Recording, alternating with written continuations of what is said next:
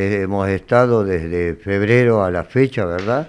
Este, haciendo cuatro actividades, que fue ganadería en el Departamento de La Paz, este, hicimos algo de olivo, hicimos papa y hicimos nuez. En los departamentos de... En Belén hicimos nuez, en Ambato hicimos nuez, eh, papa hicimos en Aconquija. Bueno, los resultados en cuanto a la nuez y papa y ganadería estamos eh, aún con trabajo no registrado alrededor de, de más del 50%. Así que, bueno, seguimos trabajando en eso, fiscalizando. Vemos que, que hay empleadores que son muy reticentes, más allá del decreto presidencial, que no hay motivo para no registrar a la gente. Y hemos encontrado también trabajo adolescente en algunos campos que estos años anteriores no hemos, no hemos observado.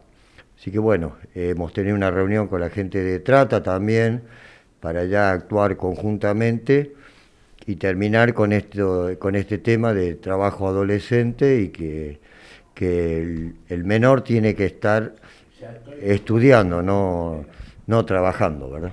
¿Cuáles son las acciones que lleva adelante el RENATRE, teniendo en cuenta esto, la informalidad de los trabajadores y el trabajo adolescente?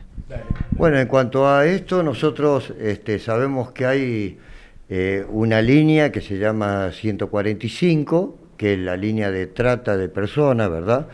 Dentro de la trata de personas eh, está lo que es la explotación laboral, ¿verdad?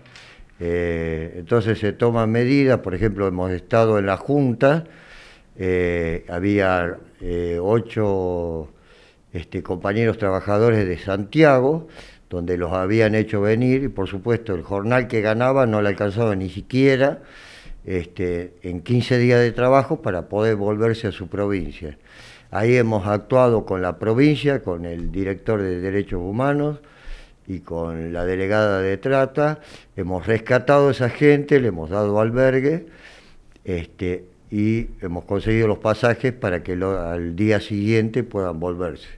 O sea, estamos trabajando con todas las instituciones, pero más allá de eso, cuando se trata de explotación laboral eh, y el que avisa no traiciona, va a haber sanciones muy duras en cuanto a ese aspecto, ¿verdad?